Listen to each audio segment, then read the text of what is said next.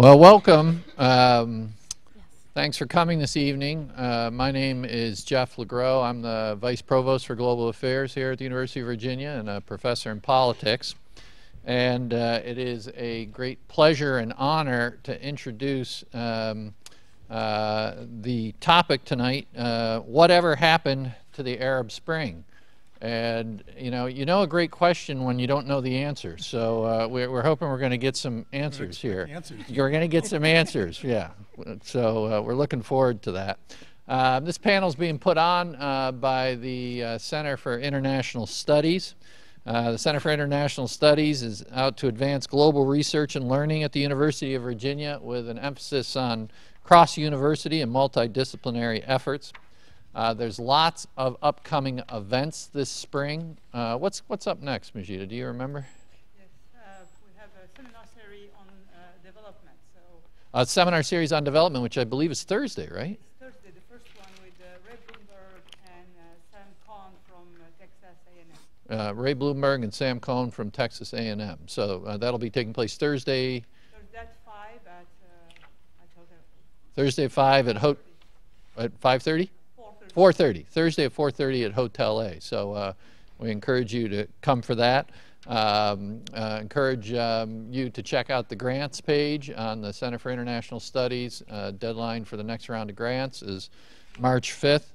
Um, and I just want to uh, uh, take a minute uh, to thank um, Majida Bargach for, for doing an excellent job running the Center for International Studies. Majida is the interim director and is uh, put together this uh, panel uh, tonight. She's the director of the Morocco program, teaches in French. Uh, Majida, thank you very much.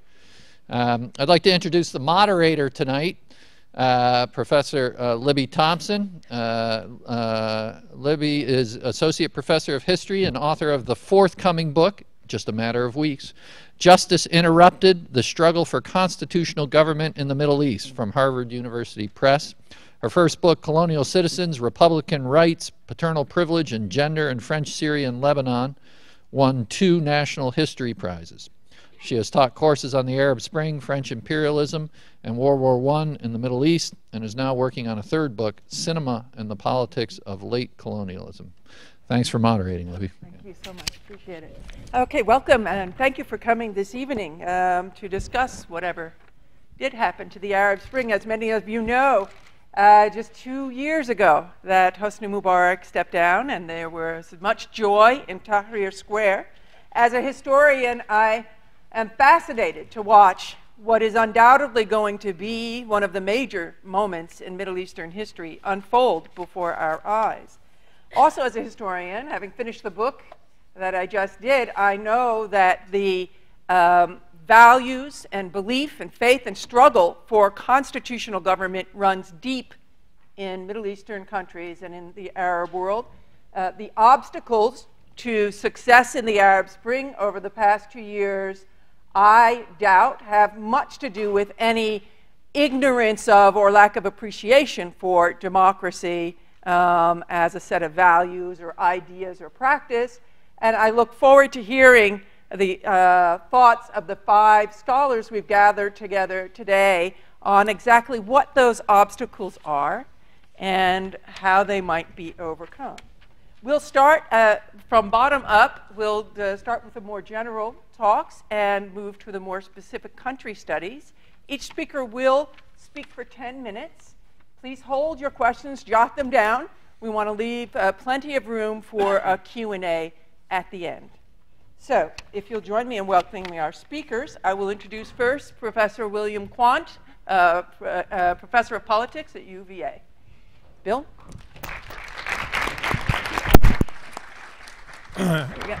Thank you very much, Libby.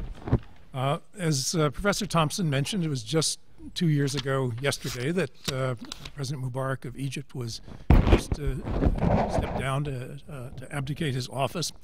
And I think at that moment, uh, the general view of uh, people who were witnessing these events in the Middle East, and certainly those of us who have followed Middle Eastern affairs for a long time, was really struck by um, the remarkable way in which mass protests, largely peaceful mass protests, had dislodged two regimes by that point in Tunisia and in uh, Egypt. And there was a, a feeling of that this was really a momentous period of potential change for the better uh, in the Middle East. Today, as I scan the headlines of various newspapers from the Arab world, it's a very different picture. There's much more pessimism. There are a lot of people asking what went wrong, uh, where are things headed. And I think it's, it's fair to say that our question of whatever happened to the Arab Spring is on the minds of uh, lots of people who are living these uh, very momentous uh, events um, that have unfolded since uh, uh, the downfall of the first of the regimes in Tunisia and then in Egypt. I want to make six very brief points since we are, are all constrained to um, uh, a 10 minute deadline. First, I, I worry about uh, the kind of instant snapshot analysis of the Arab Spring, where you look at it as a moment in time and say, oh my gosh, it's failed, or correspondingly two years ago, wow, it's a wonderful revolution. Uh, it's the wrong way to think about this kind of a historical uh, development. Instead, I think you have to think of this as a very long play with many acts or a very complicated novel with many plot turns. Uh, and we don't know where it's going to end at this point. In fact, there aren't ends in history. Uh, but I think we have to be a little bit uh, restrained in passing a judgment on uh, the nature of the historical events that we're watching. Uh, secondly, I think there are some deep causes that are playing themselves out in these popular upheavals uh, against regimes that have manifestly governed very poorly. And particularly in the five cases that I think are most uh, reflective of whatever the Arab Spring was two years ago Tunisia, Egypt, Libya, Yemen, and Syria. The commonalities, uh, not identities, but commonalities were striking. First, there had, were regimes in power that had essentially been there for 20, 30, 40 years with no change at the top. So power had become very personalized around Mubarak, the Assad family, Gaddafi, who'd been in power for 40 years, uh, Saleh in, in Yemen, and so forth. So there was a kind of focal point for people's anger.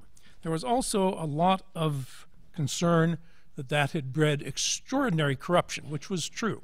Uh, in each of these cases, people knew of or thought they knew of egregious cases where power had led to uh, enormous abuses of, of that power to enrich the family, the ruling family, and so forth.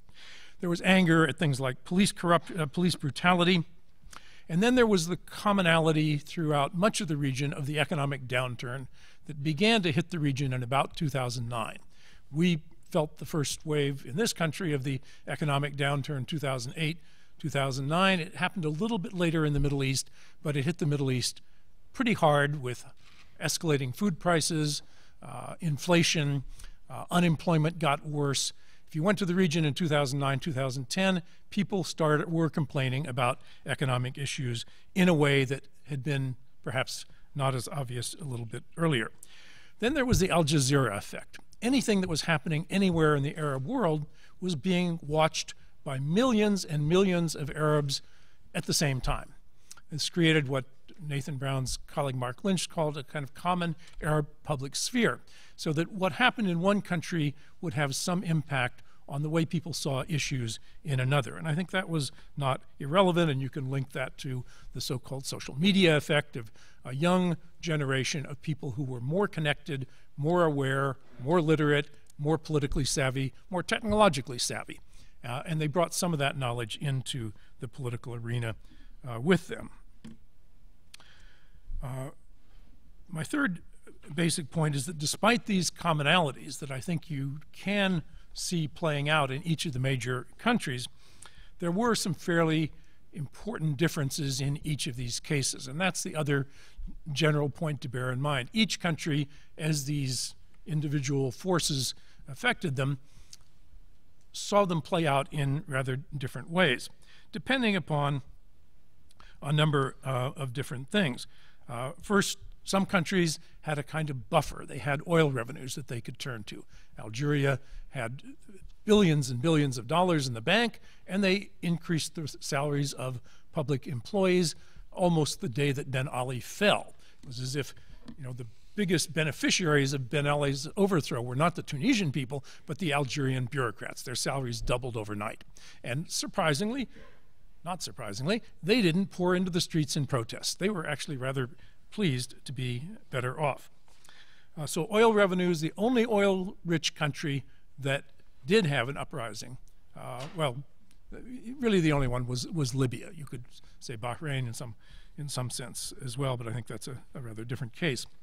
Second thing to look at is where and what kind of foreign intervention took place. Egypt and Tunisia, there was relatively little. Libya, a lot. Syria, some. Of course, Bahrain, a lot and that has made some difference in each of these cases.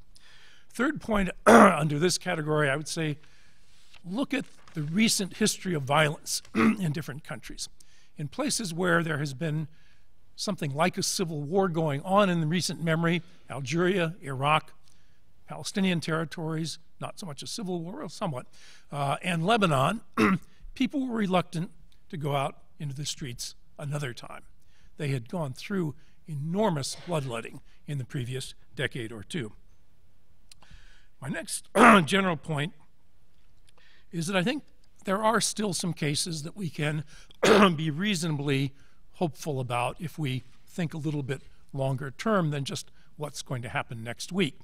Uh, Tunisia has gone through a very rocky last uh, few weeks. There was a political assassination that caused a lot of uh, reaction, but the reaction is largely not playing itself out in a violent way in the streets. People are talking, including today getting together to talk about how to get back into the political arena, how to get the Constitution finished, how to call new elections, and so forth. So I, I still think that Tunisia may turn out to be, which, which was the first of these cases of, of mass uprisings against an entrenched authoritarian re regime, it may actually turn out to be a successful transition to a more open and uh, possibly uh, democratic new order, but it's going to take some time.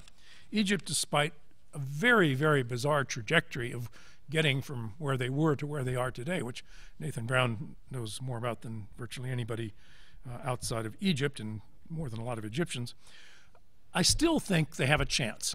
The system hasn't completely resulted in nobody talking to anybody else. Every now and then they still get together and try to figure out how to get the transition back on some kind of reasonable track. Only two more quick points, and I think I might make it in your deadline. Uh, remember that every other major revolution, anything we consider a revolution, the Russian, the Chinese, French, uh, the Iranian, all of these were followed by a lot of turmoil in the aftermath of the first phase. When the old order collapsed, it wasn't a nice, smooth transition to something new. It was a very contested struggle for power, often turning quite violent, and it took years, sometimes decades, before you could begin to see the contours of the new order. So we need to be a little bit patient. These things do not get resolved overnight. And my last point has to do with American policy, which is probably the only thing I know anything about uh, in some detail. There's not very much we can do to make a difference when these uh, deep historical processes start to play themselves out. We tried, in Egypt in particular, to steer the transition in a way that some people thought would have been advantageous to our interests. We didn't succeed. The way Egypt has turned out, and this is the country where we had the most influence, we give them almost two billion plus dollars a year in aid. We had close relations with the military. At each of the crucial moments, things did not go the way American policymakers wanted it to, at least on the big issues. And I think that's a reminder that the United States has limited influence over how this will unfold. Doesn't mean at the margin we can't sometimes exert some influence, but by and large, what people think in Washington doesn't matter all that much. My last point is beware of a lot of the pundits, and perhaps including some of us.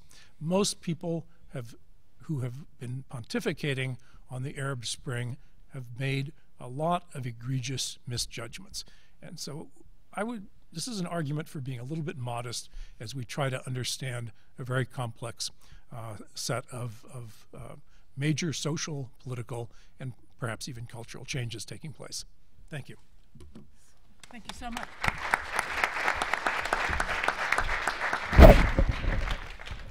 Our next speaker is Ahmad Masa'deh, Secretary General of the Secretariat of the Union for the Mediterranean.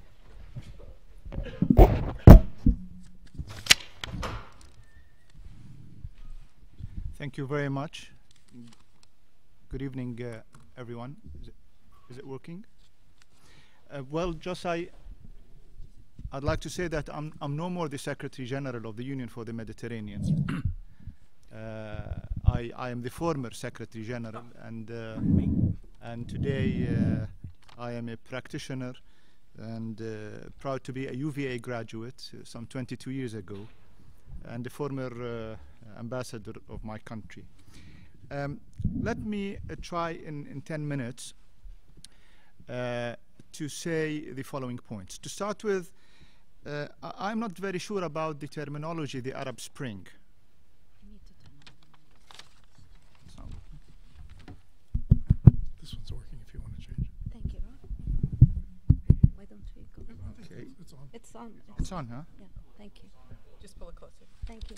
Okay. Thank you. Um, I, I, I'm not sure about the terminology, the Arab Spring.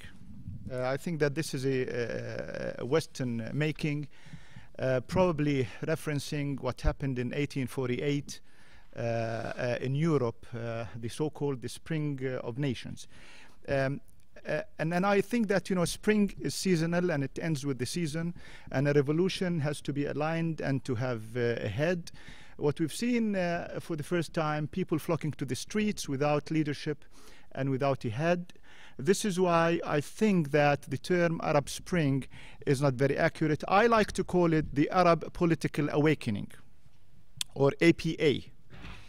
Now, in order for us to uh, get a grasp with why did we have this uh, awakening, um, I think that we have always to remember four geopolitical uh, reasons. The first, there has been a total failure in peace and security or in achieving peace and security in the greater Middle East area, including Afghanistan. Secondly, there has been also a failure to create any South-South integration or cooperation, in particular in economic between the Arab countries. And uh, for instance, uh, uh, if you know that you know the, the rates of unemployment in the Arab world is about 25% today, and uh, uh, and there are reports saying that it will go up to 28% in five years' time uh, for a population that 70% of which is under the age of 40. So basically, you either have an opportunity at your hand or a bomb, and that is what what is happening. The third also geopolitical observation or cause is that we had a total failure in the Middle East peace process.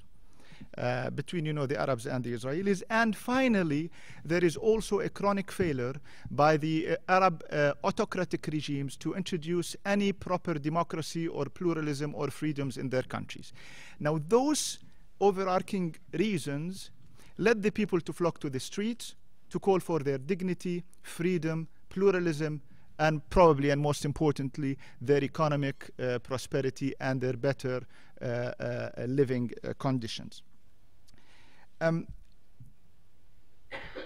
now, I, I'd like to say that obviously we had some political and deep changes in certain countries, such as Tunisia and Egypt and Yemen and Libya. And we have now, I would say, relevant uh, or relative less changes in countries like Jordan uh, and, uh, and possibly Morocco, um, and also, of course, Bahrain and Kuwait. And of course, we have a political battle that is taking place in Syria.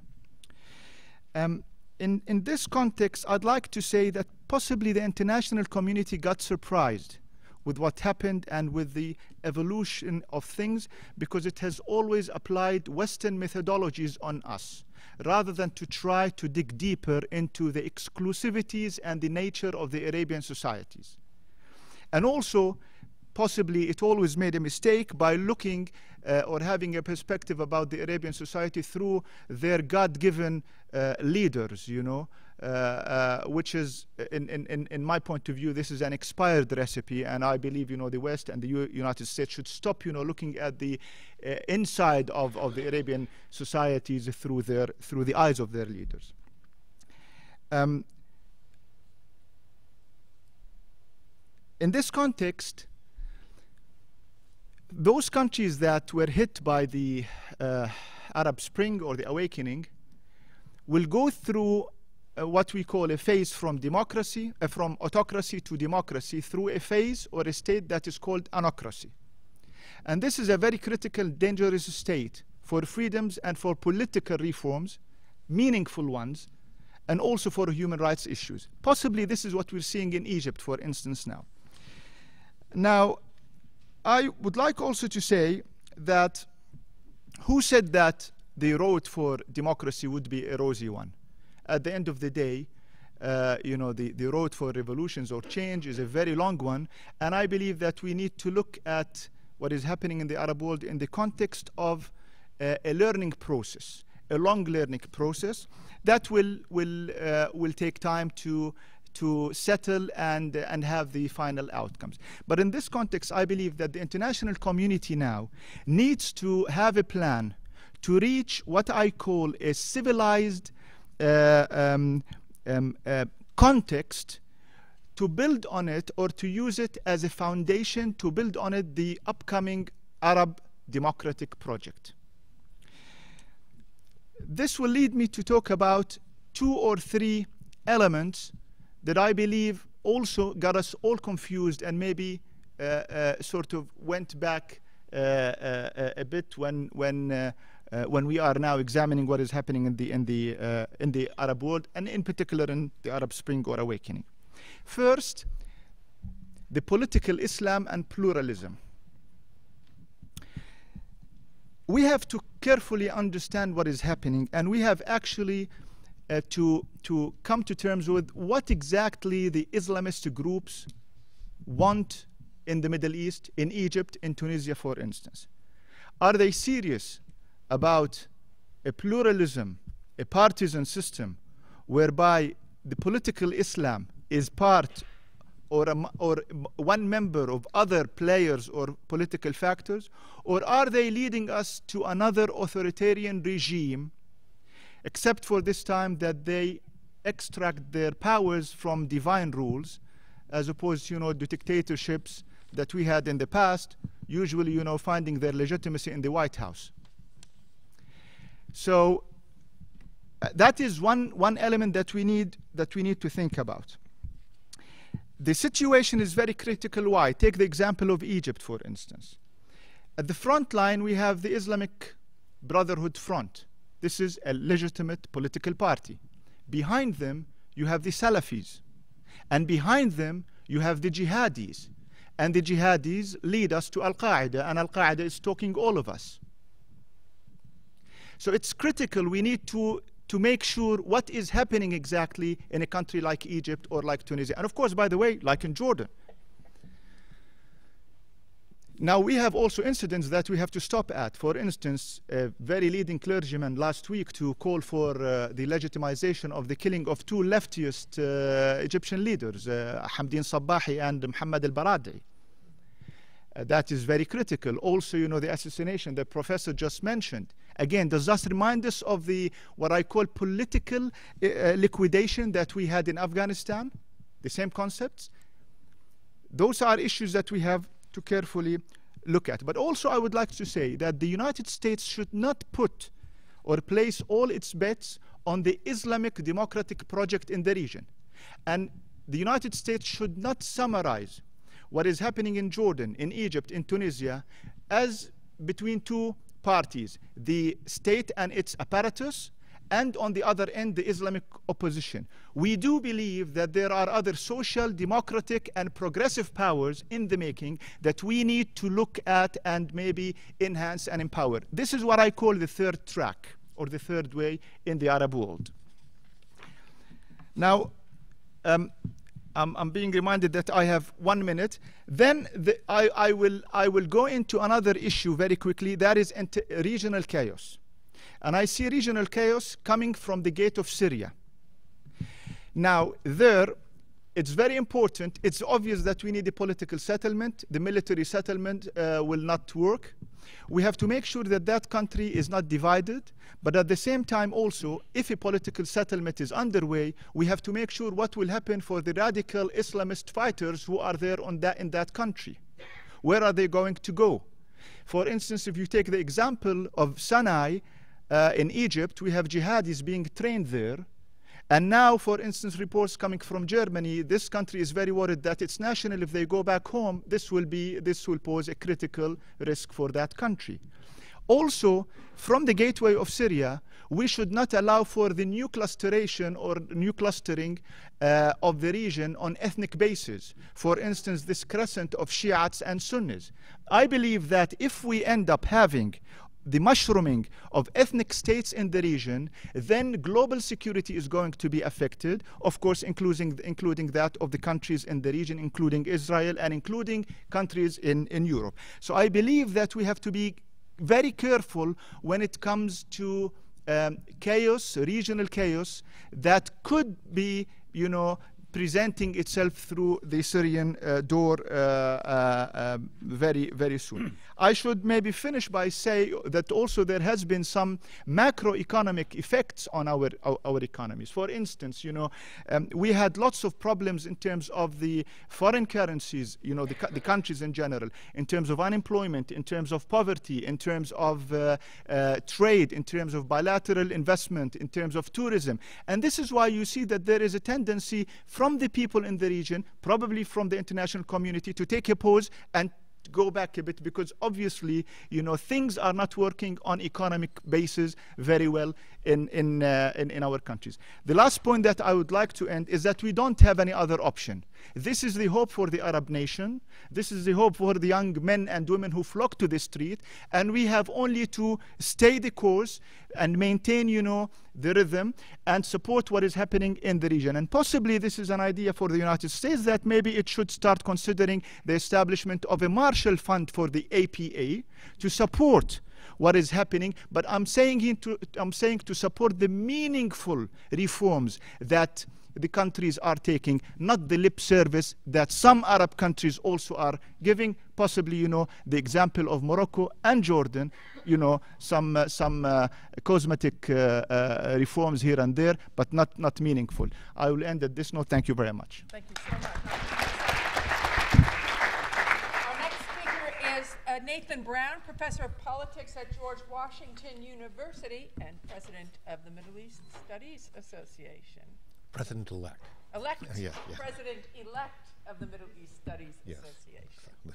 Welcome. Okay, um, thank you very much. I'm going to focus most of, or almost all of my remarks on Egypt. There's something a little bit unfair about giving, being given 10 minutes to talk about Egypt. If I did the math right, that's eight seconds for every one million people. So I'm going to, what I'm going to do is to address that situation first by talking so fast that nobody can possibly understand me, and the second uh, by ignoring uh, Bill Quandt's suggestion that uh, pundits be modest. I'm going to be sweeping. Now, those two things should cancel each other out. I will say outlandishly broad things, but because I say them so fast, nobody will understand or remember them.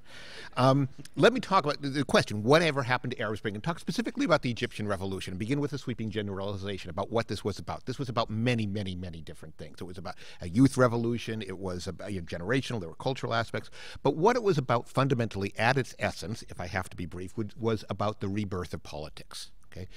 First, and I'm, I'm, going to talk a little bit in terms of personal impressions here. First time I went to Egypt, mid 1980s, I thought this is a country where politics went to die. Okay, nobody talked about it. You open the newspaper, there's no politics. You go to a coffee house, they're watching soccer. Um, if you ta- start talking about politics, people either get bored or nervous very, very quickly. That began to change, and it began to change in the 90s and 2000s in a way that wasn't necessarily visible outside the country.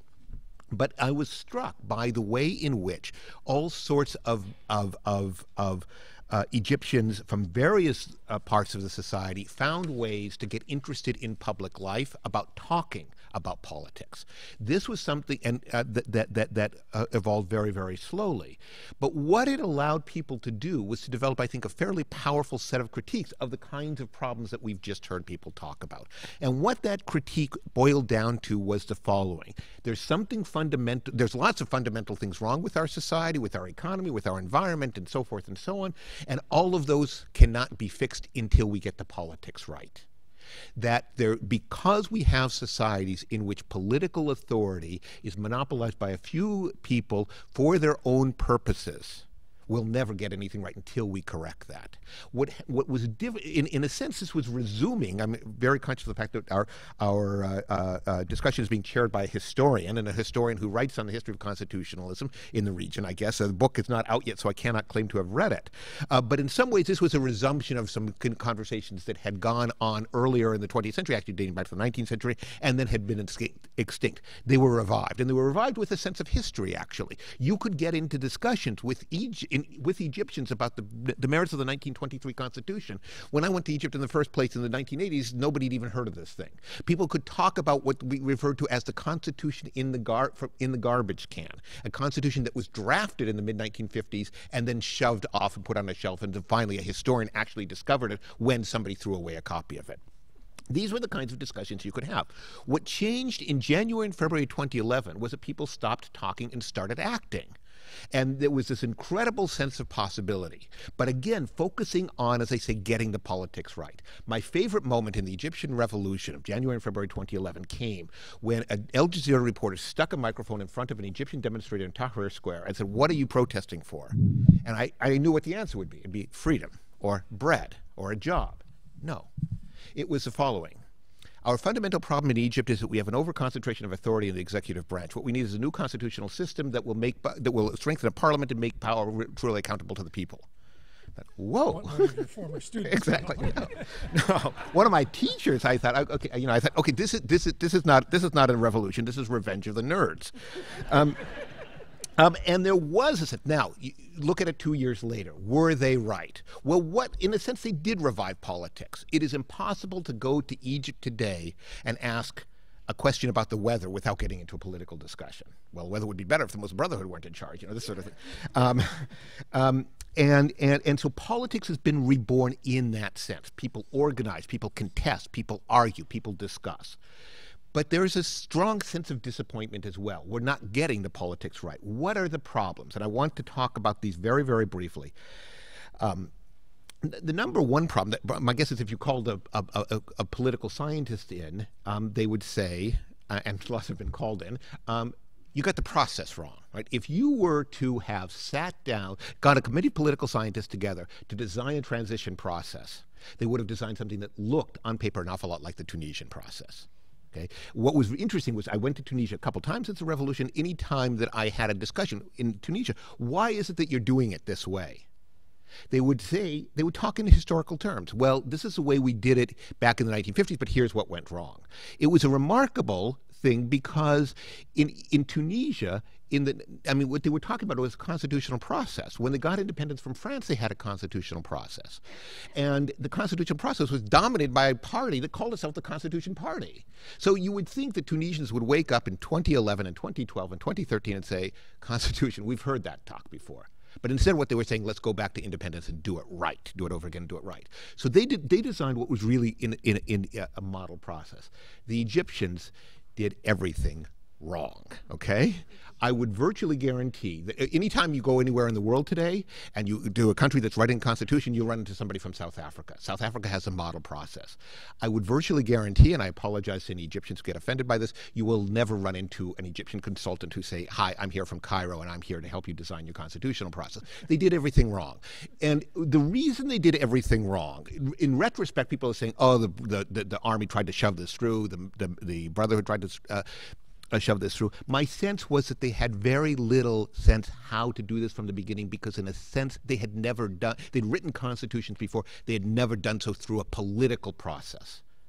So they, they made some actual bad decisions about how to do it later on. And so the process went off the rails, not because the Brotherhood dominated it, not because the opposition was operating in bad faith. The Brotherhood did dominate it, and the opposition did operate in bad faith, but because it was something that was fundamentally, there was a fundamental set of incentives structured into the process that kind of made them do it. So that was something that went wrong. The remarkable thing is that constitu- if you read, if you took a bunch of Egyptians and them, put them in a room, from various perspectives, they would have produced a document that looked 90% like the document that came out. But the process was one that hardened divisions very much um, and, that, and that made people feel embittered. Even the victors felt, felt embittered. So that was the first problem, constitutional process. Second problem is related to that deep polarization in Egyptian political life in a way that, I mean, we're here in the state of Virginia. You know what it's like to, to be in a swing state the days before a presidential election and what that does to political rhetoric. Well, Egypt isn't, is permanently a swing state days before an American presidential election.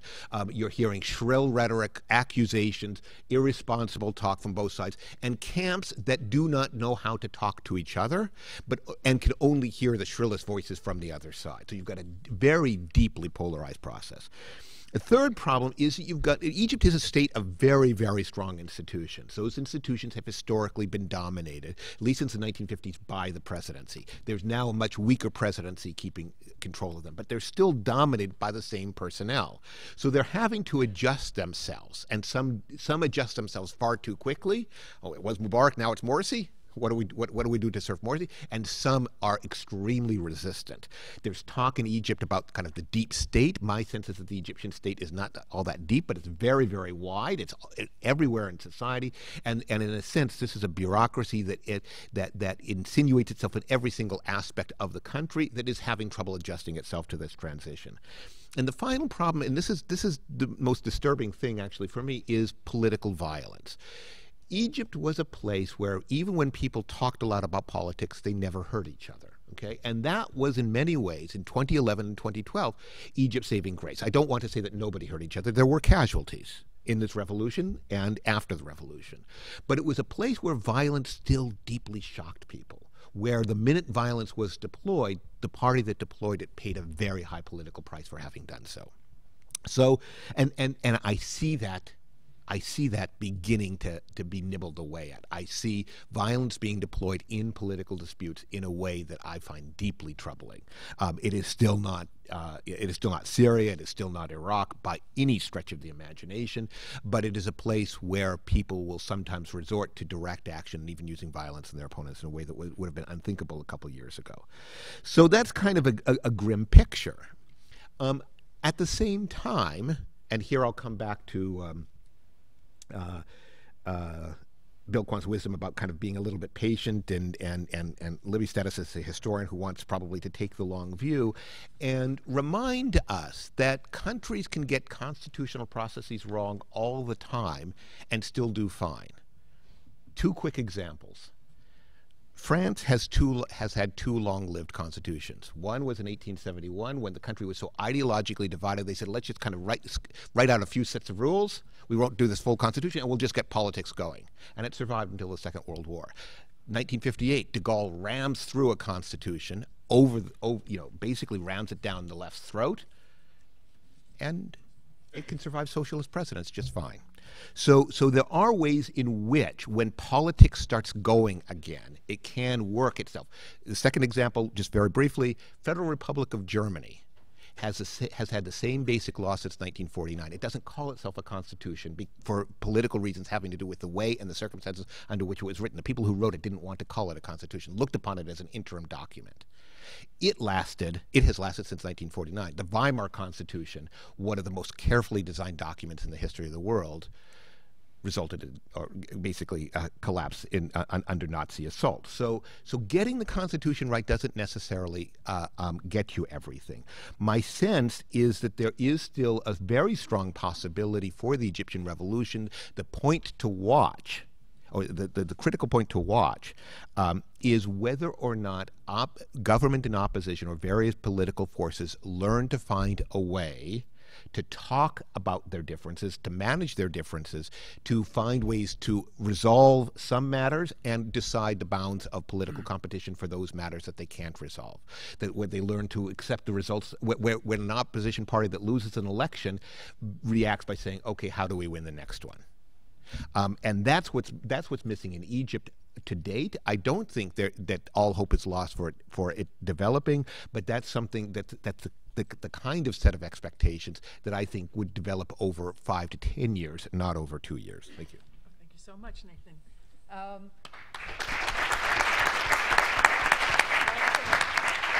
and now we have Nejib Ayachi, uh, who is the founder and president of the Maghreb Center in Washington, D.C. Thank you. Thank you. Hello to everyone. Uh, what happened to the Arab Spring? Well, for the time being, it seems that it has taken an Islamist turn. From Egypt, Tunisia, and Libya in North Africa, where the autocratic regimes in place have been toppled by unorganized and leaderless youth movements without any particular political affiliation, rapidly joined by uh, labor organizations, human and uh, and women's rights groups, democracy advocates, etc., to Syria and Bahrain in the Middle East, Islamists are now taking the center stage. In North Africa, more specifically in the Maghreb, which is, as you all know, uh, includes all the countries of the region except Egypt, that's the Maghreb historically.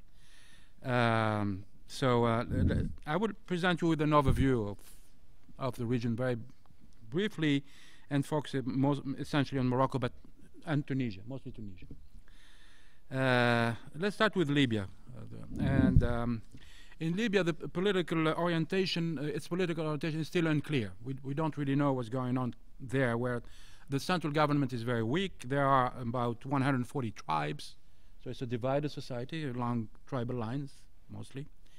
There are dozens, still dozens of armed militias at, around. I mean, so uh, after the Islamist movement haven't, haven't been particularly present in, in Libya, they've been uh, uh, suppressed by Gaddafi harshly.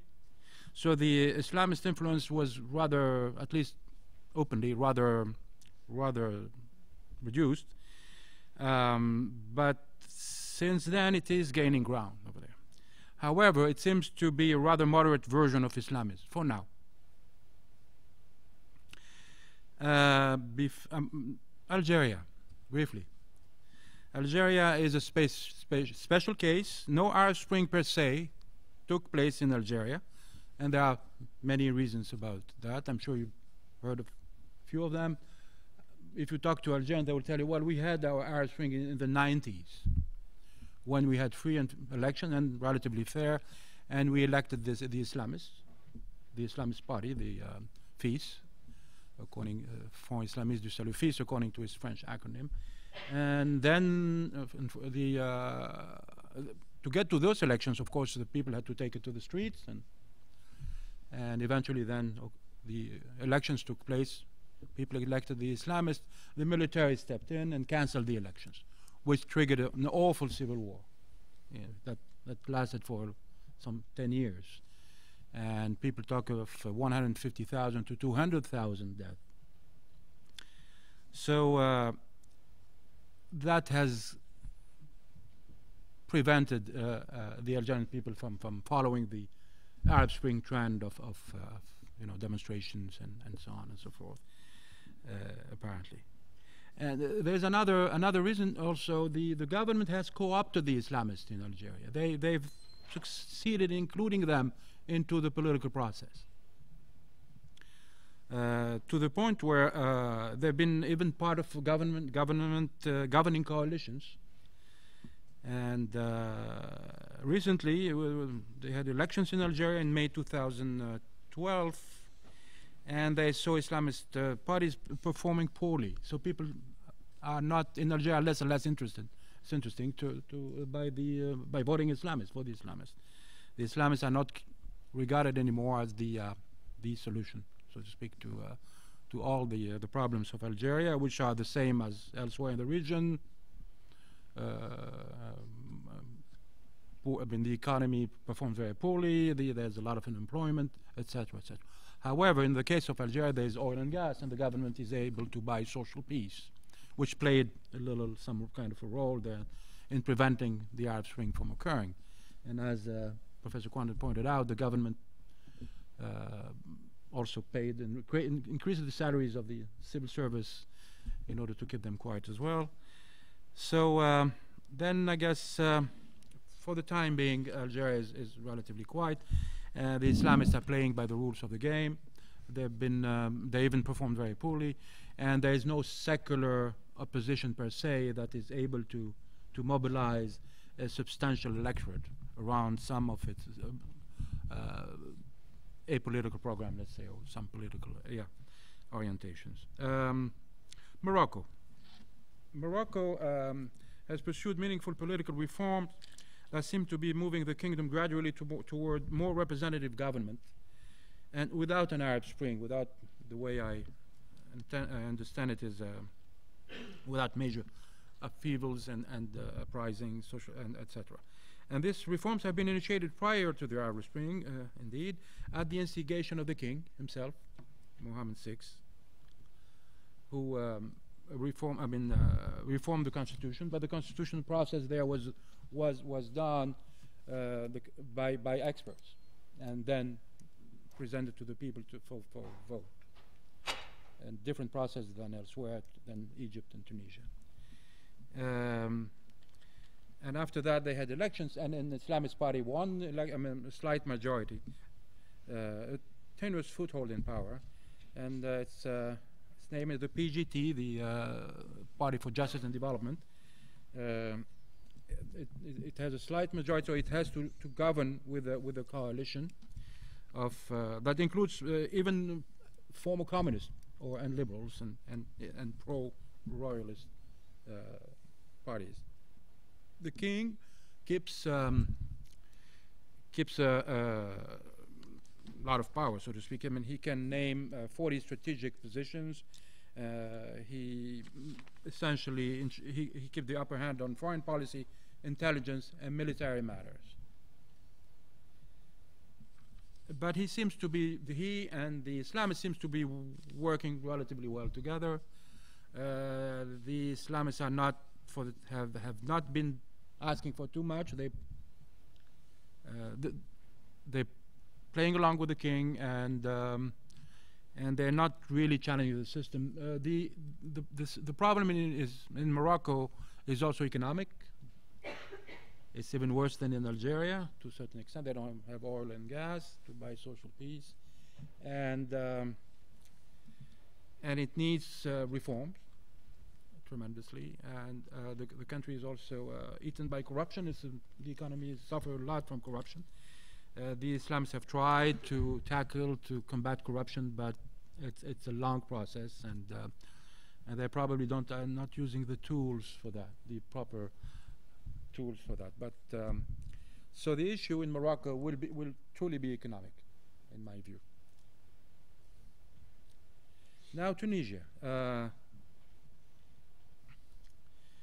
Tunisia, as you, you know, the uh, allegedly moderate Islamist party uh, won uh, the October, October 2011 Constituent Assembly elections.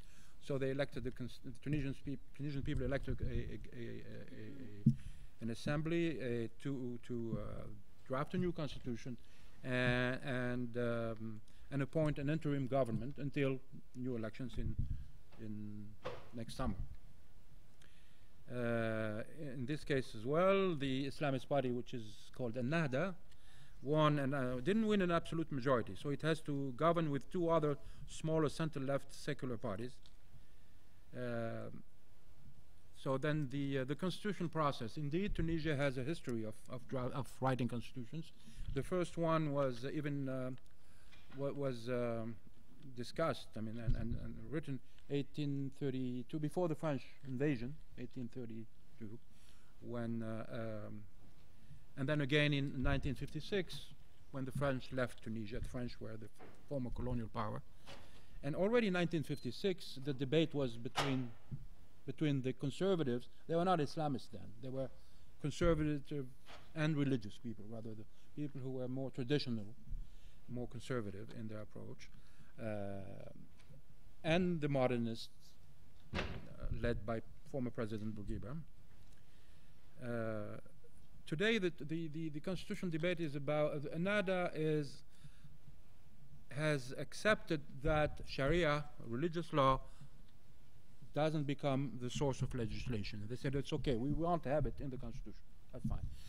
But then that doesn't prevent them, each time there is a, something to discuss, to, to question, for example, Tunisia has, uh, has un, under the previous regime has signed several international, international uh, um, agreements, such as the, the agreement on human rights, and that includes women's rights, etc.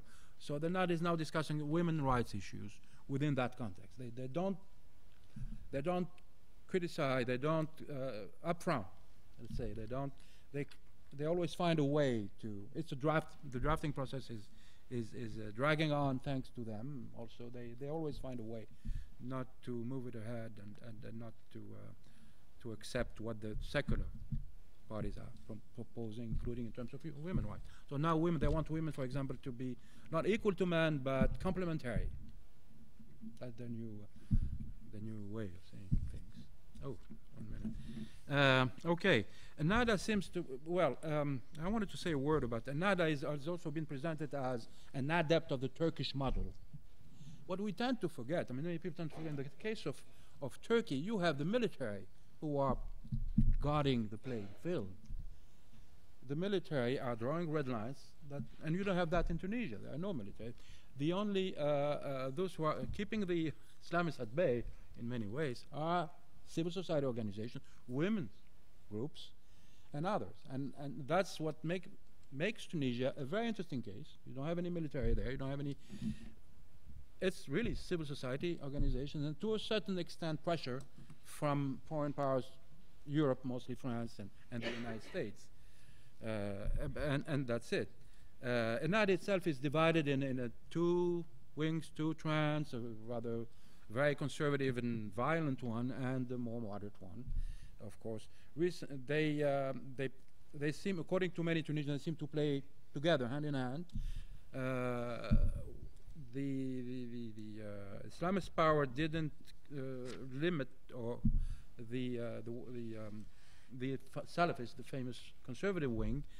Uh, Tunisia now is inundated by by uh, by preachers from the middle from from Kuwait and from the Middle East people, Salafi preachers that go around preaching jihadi Islam to these young people without jobs, without any prospect in life in rural life with little education, etc., etc. And, and, and that is done under the eye of the Islamist authorities, the Ennahda authority. And the Islamists have been aggressing university professors, they've been aggressing women, they have been aggressing, uh, assaulting women, university professors, artists, etc. Um, and that has, and, and, and without being bothered practically. I mean, some of them have been arrested for one or two days and then um, released. So that has created a climate that favored the recent killing of a ma major main political opponent to, to, to, to Ennahda. Was, this is the first killing, political kill, assassination in Tunisia. Tunisia doesn't have a history of political assassination. I mean, maybe a few when the Tunisians were fighting the French in the 50s and uh, the French the French colonial power for their independence, but no, nothing of the sort happened.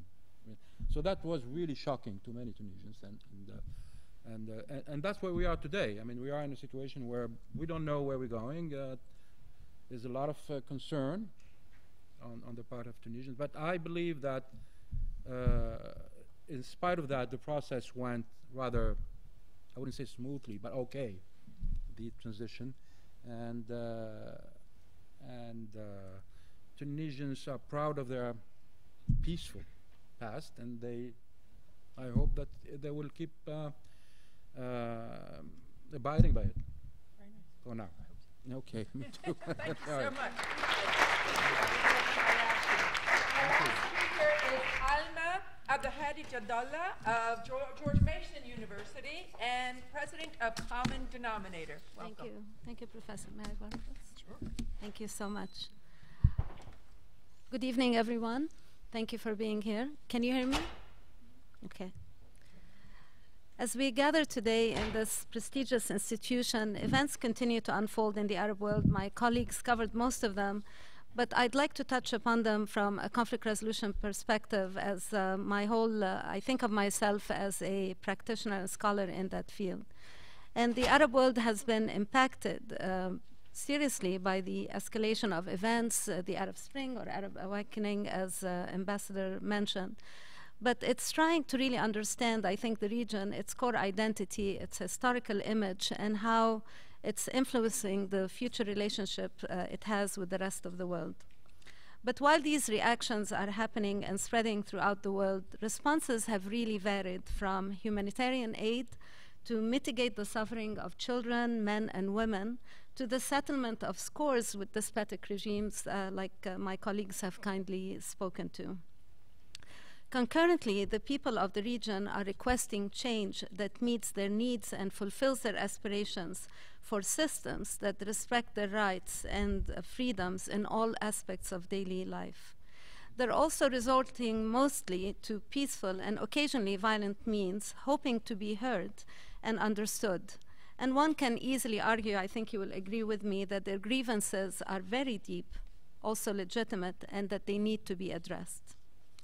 Equally to these uh, important developments is the ongoing involvement of what is often referred to as third party. These third parties are engaging in the constantly changing landscape of the Arab, Arab world. Many are attempting to influence, to facilitate, or mediate its conversation with itself, its neighbors, and the international community at large. Important again to these interventions is the way they are being formed shaped and the way they impact the dynamics on the ongoing conflicts and developments. But perhaps it's important I define what I mean by third parties, which is really the focus of my presentation.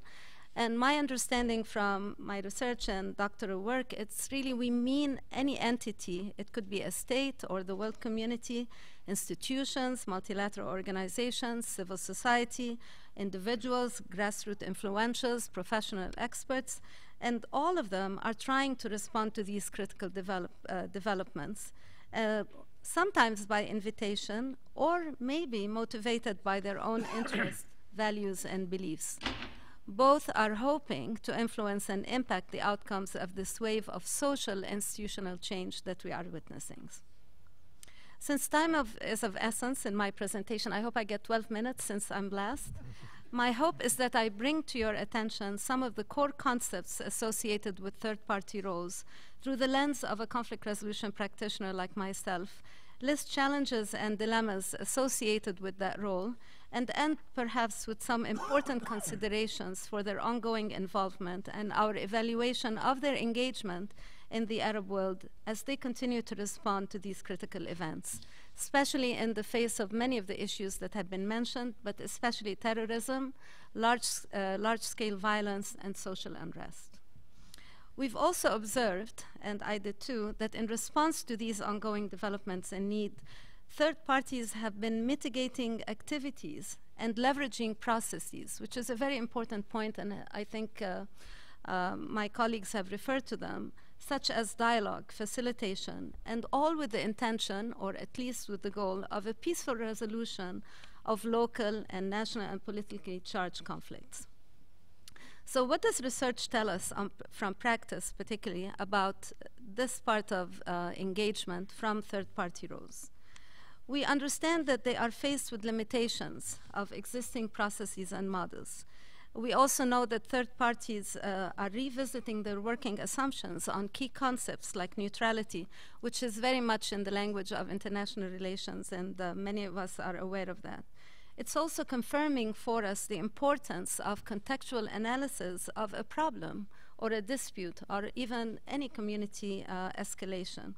And also the importance of the cultural fluency, and I underscore that, and competencies of these third parties in places where they work, and the need to understand and work with trauma, acknowledging its impact on the party's ability to reach resolution. Very important factor now. Uh, we're partnering with a lot of mental health practitioners to really understand how we could resolve conflict uh, and an understanding with trauma. Additional research also indicated the limitations of short term responses in addressing the root causes of terrorism and large scale violence, as I mentioned earlier, and also mediating and negotiating value based conflicts, dealing with religious fundamentalism, which was covered by some of my colleagues. There is also the realization that there is a need for different kinds of partnerships. We've seen this with many state actors. Uh, no time to mention them in details, maybe in the, the question and answer period. And also the lack of coordinated efforts. Everybody is coming in trying to address the Arab awakening or the Arab Spring or the Arab autumn, if you, you want to use even a third termination. And so it presents us really that we need to think of some important questions as we think about third party roles. And I've formulated a few that I hope we can maybe address la later. One of them, I think, is what is the ideal profile of an intervener, if any, or interveners, and what role can they play in the midst of such unrest and institu institutional changes? What processes or group of processes are best suited to deal with this changing landscape, and especially communal, sectarian, and religious violence? Can existing processes that we know from the field of conflict resolution, such as mediation, facilitation, negotiated agreements, etc., address the complex nature of this large scale change? We're constantly, you mentioned, Mr. Ambassador, uh, having transforming and transporting some of these models. Can it deal with the humanitarian crises of this, the, the current state we're seeing in Syria? 60,000, I believe, is the last number. Of course, uh, it could be more, or 70,000.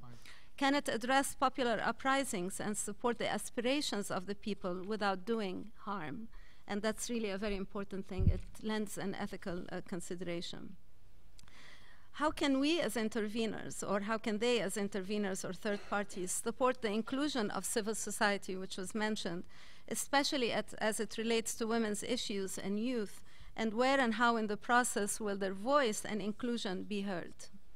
How do existing processes manage the influence and actions and interests of regional players and the international community? More importantly, how can we ensure the translation, adaptation, and transfer of Western processes and other conflict resolution tools that are culturally sensitized to the local context? How can we prepare for the role of religion in supporting potential solutions given the rise of Islamists and the emphasis and manifestations of religious identities in the region? How can we build and leverage the positive influence, if any, of religious values? how can we influence religious extremist rhetoric, which you mentioned, a very uh, important example that happened yesterday or two days ago? How are other religious traditions accommodated, uh, especially in Egypt, we're seeing that discourse and allowed to contribute to such a process? But this is really one way of thinking about it, is posing these questions. But we can also look at four dimensions of intervention that I'll cover briefly and hopefully stay within my time limits. And these are around uh, four, four kinds of dimensions when we think of uh, conflict resolution or third party roles. And these are related to uh, challenges that these third party roles will have to deal with. One is related to issues. How to deal with such a significant number of issues youth, violence, change, constitutional reform. You mentioned, I mean, autocratic rule, perceptions of corruption. Uh, Professor Quandt looked at it, social mobility of Arab youth, unemployment, and the list goes on and on. And maybe underscore armed civilians, the availability of small arms uh, through illicit trade, violence, non state actors. Um, I think you would agree with me, we can map this out and maybe full, uh, fill a couple of charts. Not only are they there and persistent, but they're complicated, and when solutions have been attempted, they're not very successful. We need to be modest, as you had mentioned. We also have challenges related to the parties. We're dealing with a large number of parties, often diverse and with competing needs and goals. Some parties also suffer from internal conflicts, and that's really some of the symptoms we are all aware of. We can't treat them as one. We may they may have a title, but we, beneath that title there might be a lot of diversity in opinion. They're all competing to come to the table, have their voices heard, and also labeling one another uh, with, for the sake of exclusion, each, excluding each other. They call each other fundamentalist, extremist, irrational, uh, irrelevant, and the list goes on. And then there are challenges related to context, uh, and that really we have to think about. The context meaning where is the economic and human resources are going? Uh, where are the parties vested and why are they vested in continuing the conflict? And also how powerful parties are dominating and dictating the interest, their interest in working around that. And then finally, on process, we need to really think about power asymmetry and what to do about that. So I'll end very quickly and uh, to say that maybe what we need to think about when we think about third parties is that we need processes that are inclusive, legitimate in the eyes of the people, that are fair, that address grievances and deep-rooted issues, and more importantly, promote reconciliation, relationships between the people. We also need to uh, factor in the collective and individual traumas. And we also need to think how are we going to, uh, how these third parties are going to bring together historically marginalized groups and deal with the power asymmetry that I mentioned. I end by a few recommendations. I'll go through them very quickly since I have uh, very little time. We need to really think of how to convene a diverse group of experts and an interdisciplinary approach uh, to, help, uh, to help address and deal with the issues happening in the Arab world. We re really need to rethink and redo the, uh, the pretense of neutrality and rethink impartiality. We also need to think about system-wide interventions where the intervener is not just on the outside of the equation, but part of the equation. We also need to understand the third party and the intervener's position on issues of justice and fairness. And then I end really with thinking, uh, saying that um, it's very important that um, we respond with authenticity as third parties. We need to remember the ethical dimensions and the impact of our actions on the people that we are either trying to help or pretending to help. Perhaps we can think of ourselves as individuals gifted with big ears, so we listen to understand, wide eyes to see through a wider lens, a big heart so we can feel the pain and emotions that are being expressed, and finally, equip ourselves with a toolkit that is culturally sensitive and that can be tailored in partnership with those directly impacted by the unfolding events. I believe uh, from my own practice, it is only when and if we gain everyone's trust that we are able to support changes that the people are advocating for, not the changes that we think they should be making.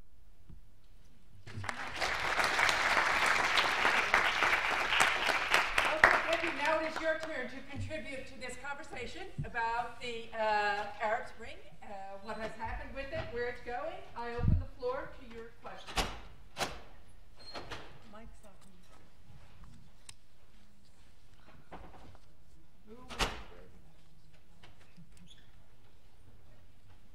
In front, right here. The Post reported yesterday that Iran is sending in troops to other help. Can you hear me back? They can't hear you in back.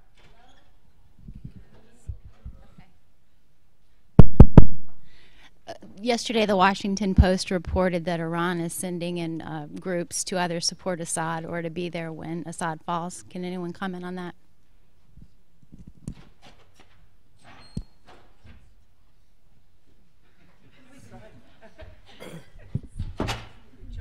Well, you see, this is part of uh, the ethnic and religious clustering that is taking place in the region. Iran has um, has had uh, taken a position from day one, and it's not new information that they are sending uh, uh, whatever you know troops to to, to Syria. Um, the thing there again, um, it's about um, two axes that are formulating in the region. You have Iran and Syria, and Iran is using Syria as a link with its Hezbollah in Lebanon. And on the other end, of course, you have, of course, you know, with this uh, uh, camp, you have, for different reasons, China and Russia.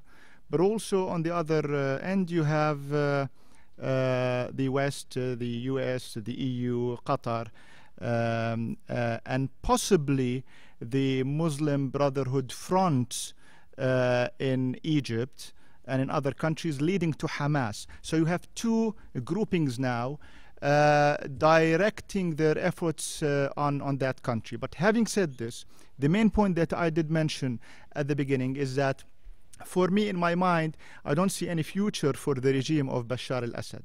At least from a human rights uh, perspective, legal perspective, the diplomatic perspective, this regime is over. Now, the thing is also that we will be committing a sin or a major mistake also if we allow, you know, Iran or whoever to try to divide that country on the basis of sectarian, Alawite and Sunni and Shia. I think that this will pose a major threat to the region, to the global security, also to the European security. And of course, it will touch, you know, uh, deeply countries like Jordan and country like, uh, like uh, Turkey. It's not new that Iran is there, but at the end of the day, even if they have their troops or whatever, you know, uh, uh, they are doing, they are defending their final tie with their fellow group in Lebanon, and that is Hezbollah. Do other of you agree that the regime is over?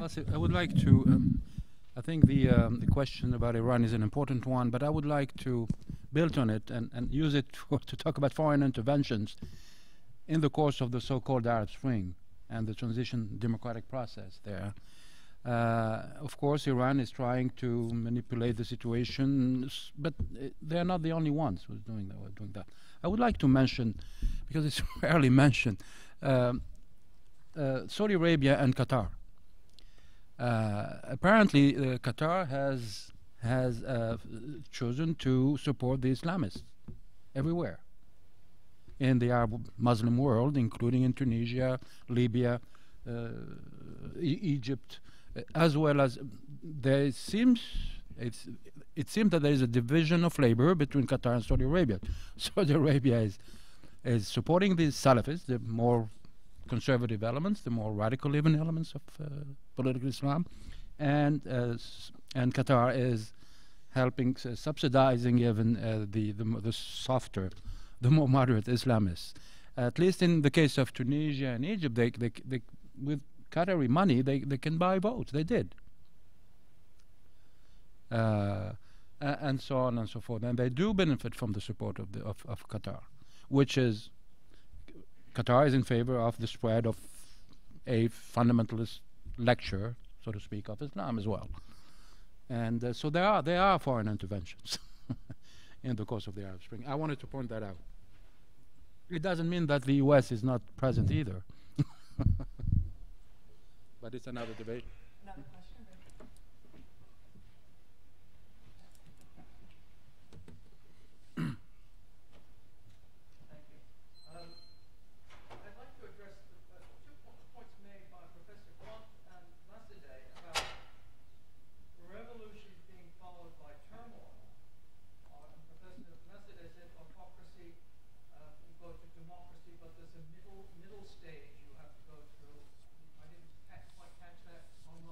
Anocracy.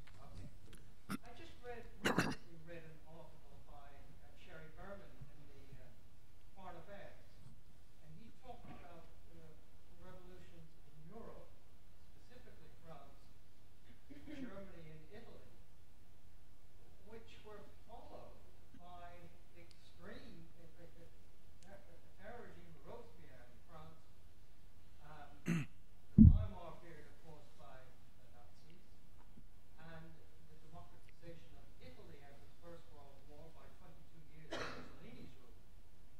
Is it likely that the Middle East could go down, I don't mean specifically those routes, but we rule this out. These were decades long reactions to um, what had gone before. It wasn't the fault of democracy claims, it was the lack of democracy in the preceding regimes of autocracy. Could you comment on that? Well, it's. I don't think we're going to see uh, a single model for all of the countries in the Arab world. I think we will see uh, some real horror stories. We're seeing it in Syria now. And um, I won't try to predict how that's going to go, but I don't think there's a quick, clean resolution in sight. So maybe we will see decade long uh, turmoil and violence, and uh, whatever replaces the Assad regime may not look a lot nicer than what it replaced. So I think that's the one that worries me most in terms of your your, your horrible examples. Uh, Tunisia and Egypt strike me as less prone to that, partly because there's less of a sectarian um, divide, virtually none in Tunisia and not a major one in Egypt. And I, I, think we can see that sectarianism can make these problems much worse. In Iraq, it, it was a major issue. In Lebanon, it, it became the defining issue in their civil war, which, remember, went on for 15 years and cost the Lebanese people something on the order of 5 or 6% of their population was killed or uh, badly injured, which is a huge percentage in these kind of conflicts. Uh, so there are some very bad things that can come out of this, but I don't think there's a single model. I think we're going to see a lot of uh, variety. We're going to see some reform efforts that may actually succeed in preventing uh, these kinds of uh, terrible outcomes. But I worry a lot about the countries that go through um, a, a, a, deep and prolonged period of violence. Iraq, uh, Syria, if it starts up again in Lebanon, I think it could uh, once again uh, be very hard to stop. Um, and, and I don't know enough about Yemen to speak intelligently about it, but Yemen has been bogged down in internal uh, conflict, near civil war, and it doesn't strike me that the revolution has brought that prospect yet to an end. So the prospect of violence worries me more than the new, strong you know, Nazi style state or Mussolini style state or Robespierre. Um, in, in, fact, it's the, the inability to rebuild state structures that have any kind of authority that right now is worrisome. Uh, you know, you, you, you see what happens when a country falls apart. Libya, uh, Iraq, after we deposed uh, Saddam Hussein, the, the, the, anarchy phase can be uh, as threatening to people's lives as the dictatorial phase can be.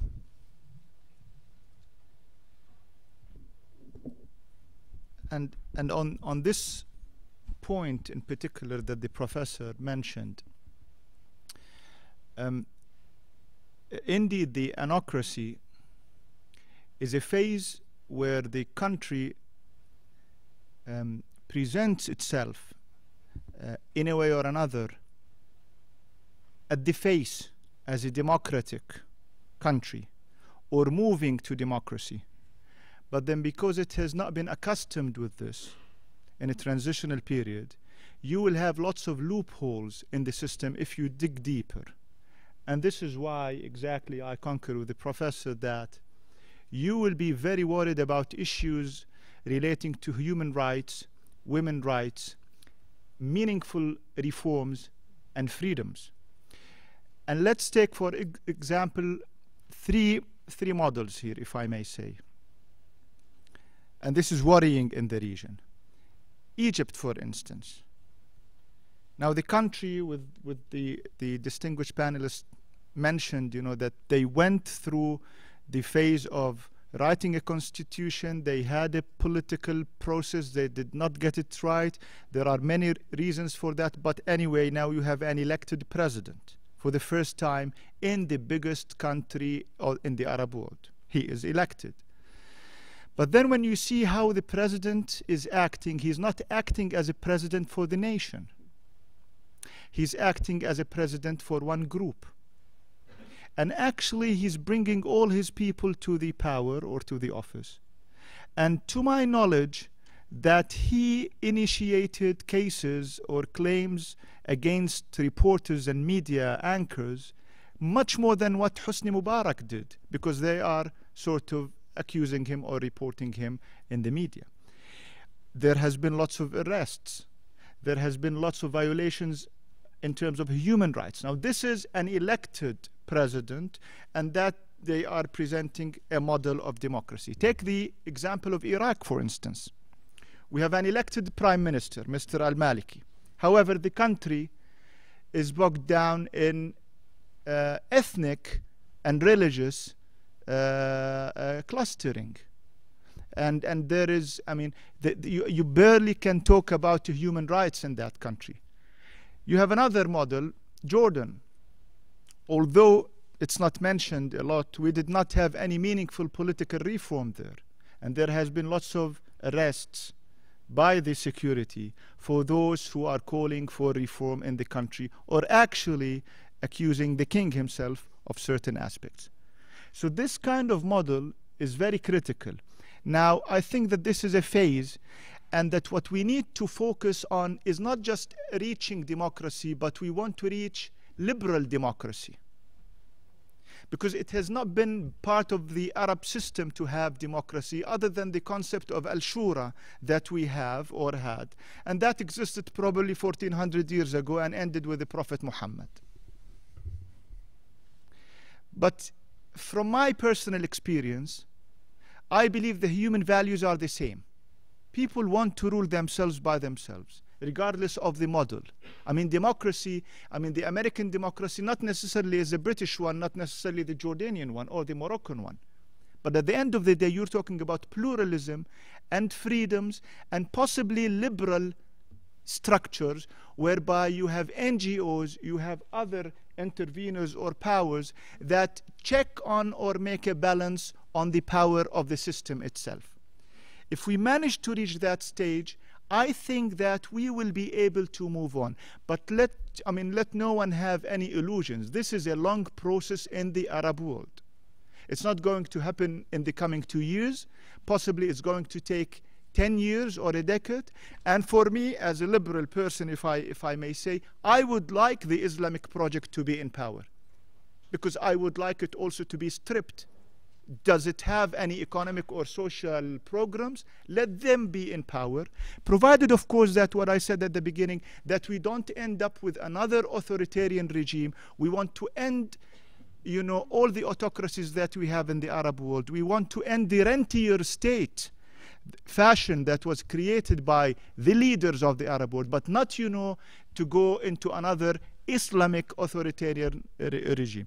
I don't see that we, we will end up, you know, in a model like what happened in Europe, but of course this could happen. But I think that the international community is different now, and you have lots of checks and balances that can be uh, played by the United States or, uh, States or the EU, whereby they can rectify although I mean they have some power, they can rectify the process. And for instance, remember when Morsi uh, has has taken you know the constitutional declaration, the U.S. and the international community really flagged some cards there, and he had to step back. I see that there are some international checks and balances in the system today. Uh, thank you. Are there any other panelists that might want to comment on? I think we're, seeing a trend or a, sort of maybe a conversation emerging on the efficacy or not of intervention. Um, is it, you know, are these processes that um, have been spoiled by outside intervention, or can you know what does it take to um, have a, a, a, more productive one? And yeah. maybe um, I just like, um, like thank you. I just like to say that also uh, institutions like the United Nations is really thinking seriously of its role uh, in regard to how to manage for all of this because uh, they are perhaps well positioned to do so. So, for example, you have the Bureau of Crisis Intervention in New York, and I'm doing some work with them now. We're trying to look about uh, through a concept that has worked for South Africa, which is one of the insider mediator. And the insider mediator, by definition, is someone who has credibility within. Uh, within a community or a system. And so when you um, empower them and you work with them and give them capacity, or you participate with them in partnership, you could actually build the capacity from within, not just from the outside helping. So, and so there are many conversations that are happening that I'd like to, to share, not in too much detail because a lot of conferences are being put together to actually engage in dialogue around what that might look like. Also, you have uh, other interveners who are using words like there are doers and enablers. And I interviewed one of them uh, who is quite prominent doing work in Tunisia. And I like this terminology in a sense. He said there are many situations in these societies where people are just jumping in and really putting their weight in, in, in the community without being asked. And they are acting to facilitate some sort of problem solving to some of these issues that are happening on day-to-day basis that you and I cannot even put our hands around them because of various reasons, cultural sensitivity, being on the periphery, not being accepted.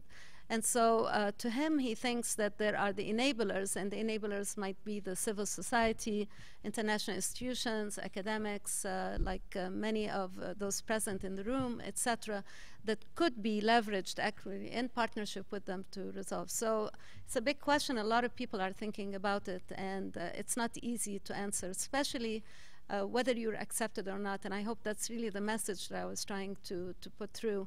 It's um, are you invited or are you, uh, uh, how you will be perceived, uh, especially the historical relationships with the West? And also uh, the agendas, the interests, and the positions that many people are taking. So all these factors have to be uh, managed. Thank you. About in foreign and international. Questions. I guess we're talking a lot about the role of international institutions right now, but Professor Quandt specifically mentioned some. Can everybody hear me? We prefer by. Okay. Um, Professor specifically mentioned the lack of influence of that Americans have had, and I was wondering what role, if any, um, you panelists see for the American government moving forward. I, I think we're suffering from intervention fatigue now in the United States. Uh, if after spending a trillion dollars and 5,000 American lives and hundreds of thousands of Iraqi lives, we couldn't design a better outcome than the one we've got in Iraq, it makes me wonder what kind of American intervention could work. Um, money is usually not the problem in these societies. There's lots of money around. So, yes, we could provide economic aid, humanitarian aid, but so can lots of other people. Um, military intervention seems to not work. It has real counterproductive uh, parts to it. And quite frankly, I'm appalled at the degree of ignorance that our policymakers uh, have when it comes to understanding these societies. When we intervened in Iraq, I can tell you from firsthand information, the President of the United States did not know the difference between Sunnis and Shias in that country. Uh, that worries me. And how much more do we know about a place like Syria, to say nothing of Yemen or Libya and so forth? So I think we as Americans have to be very um, aware that we have gone down the road of intervention in two Middle East, South Asian societies on a very large scale, Afghanistan being the other. And it's very likely that when we step back and look at the net results, we will not have much more to show for our intervention than the Russians had to show for their intervention in Afghanistan. Uh, the kind of raw power we can deploy gets certain kinds of results. You topple regimes. Putting a regime back together, putting a state back together, is a totally different and much more complicated uh, exercise, and we're not well suited for it.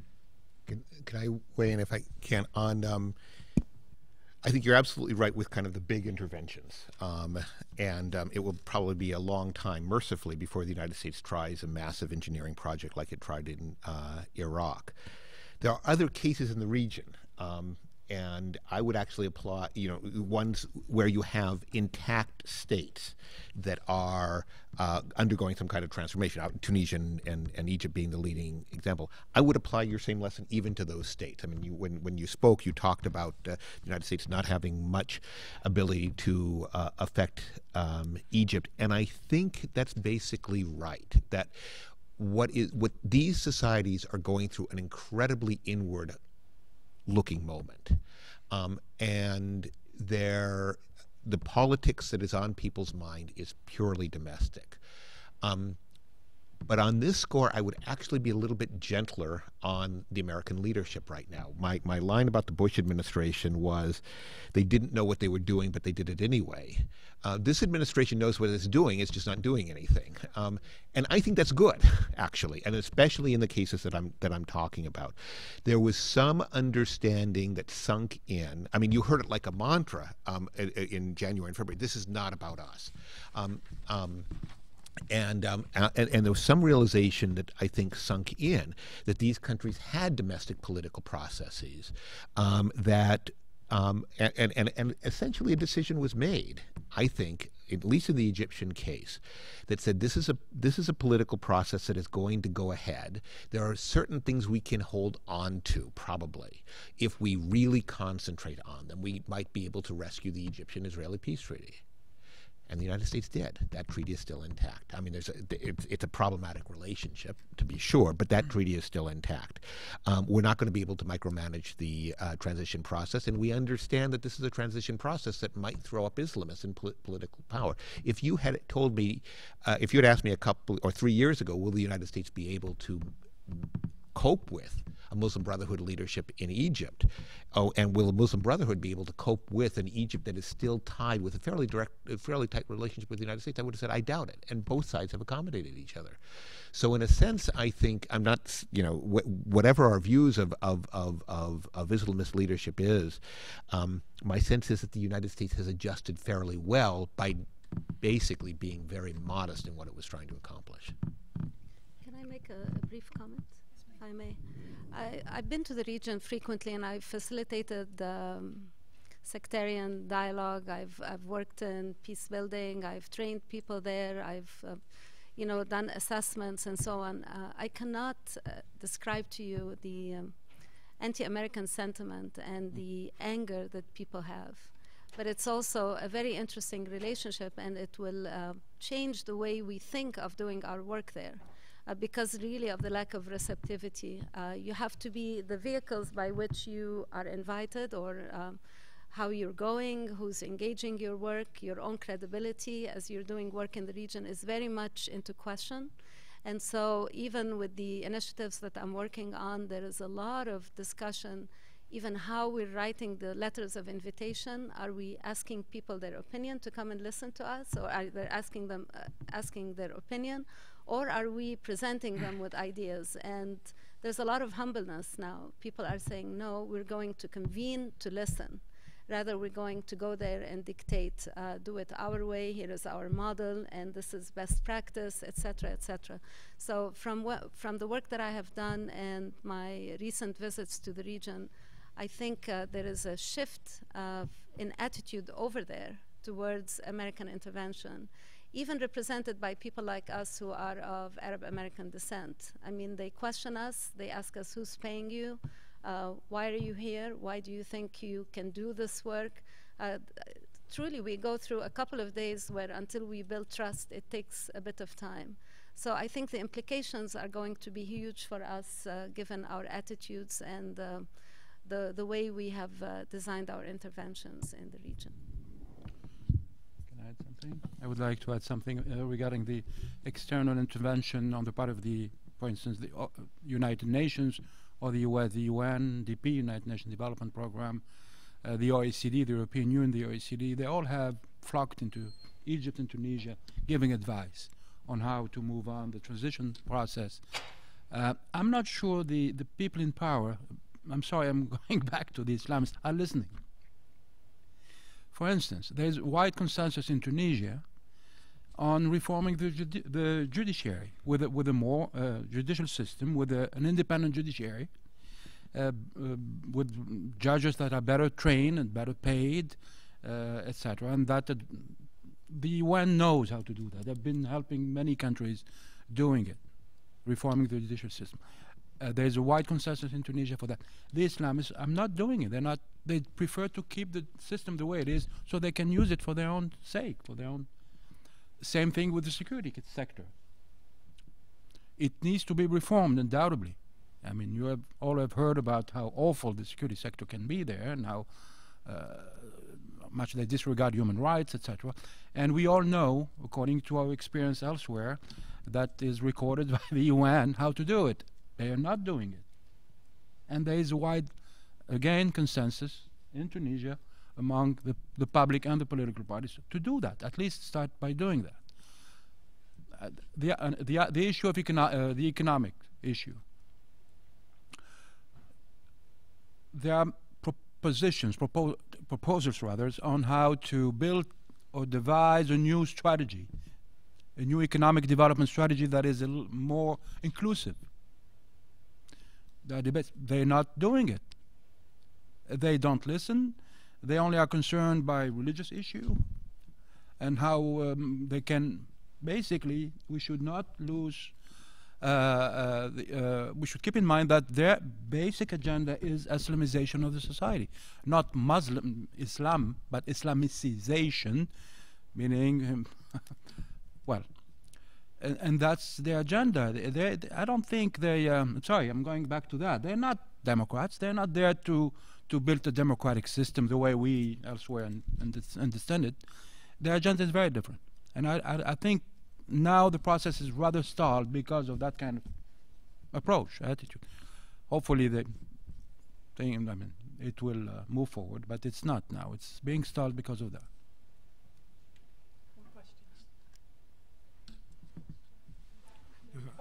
Mike behind. Saudi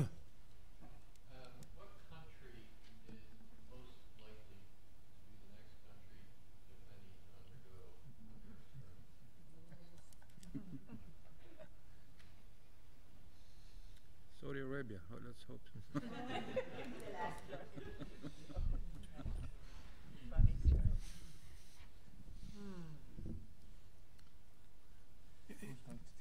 You know, I, I, I think uh, there's no point trying to be to say that we, we have all the indicators and we have a point prediction to make.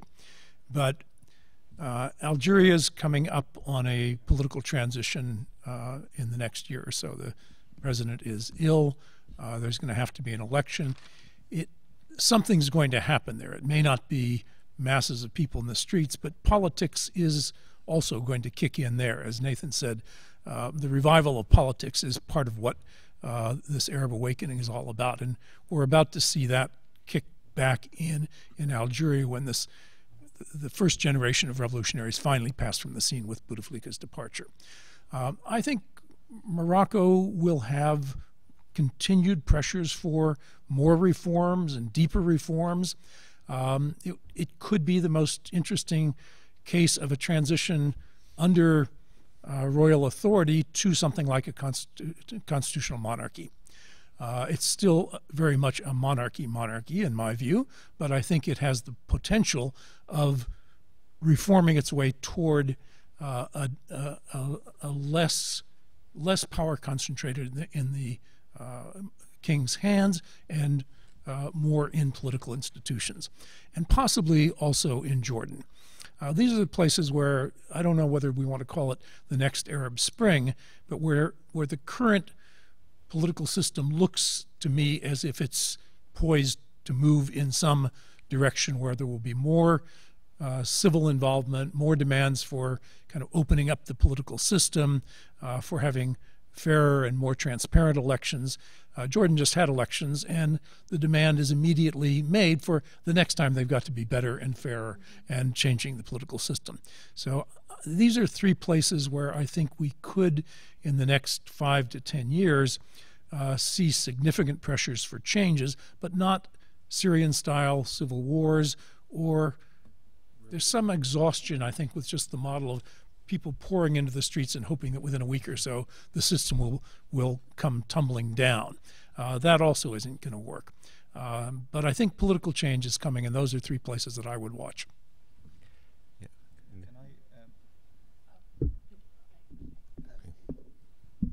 I'd like to just to to make a clear point that I think in all the Arab world we are heading to two things. Republics, eventually we want to see the presidents elected every four years or five years. And monarchies, we want to see elected prime ministers checked by the parliament, and the monarch is a symbol of the nation, more or less uh, a constitutional monarchy.